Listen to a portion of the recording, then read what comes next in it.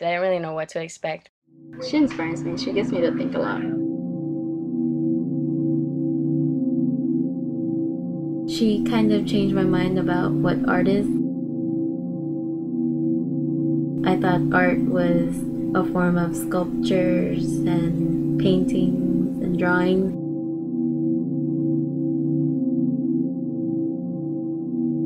Asked her what her definition of art was, and she said it was a form of communicating with people.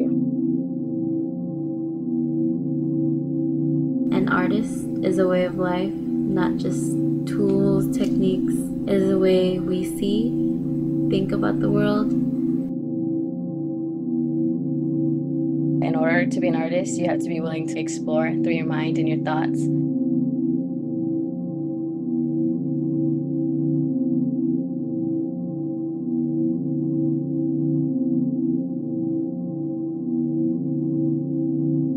Virtual art is harder than you would expect. It just blows my mind how all of these pieces in her mind come together and forms this extravagant piece of art. It can be either abstract or satirical. Something that causes you to think more. It's not just going to be a tree. I mean, it's going to be something that is expressive in that tree, something that causes you to think.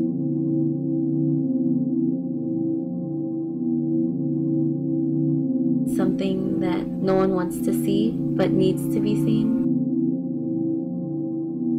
Half of her life is based on the web. She uses a lot of code. Something she studies or sees or hears or think or sound. Maybe the news or maybe a leaf. And then she just explores it. She likes to incorporate a lot of music into her artwork.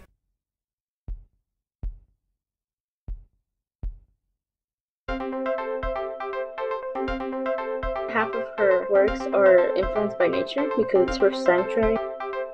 And it's her do like a garden.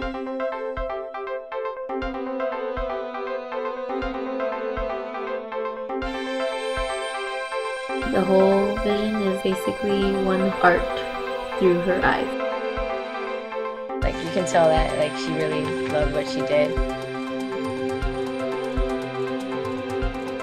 Either simple or extravagant. Her pieces on Second Life are intense.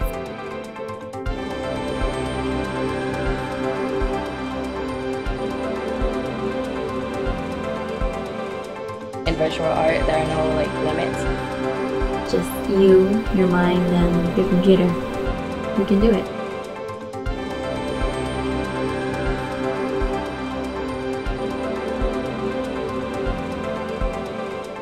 Don't be held back by things that you think aren't possible.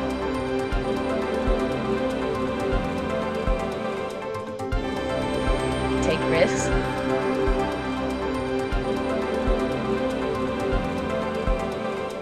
There's no limitations.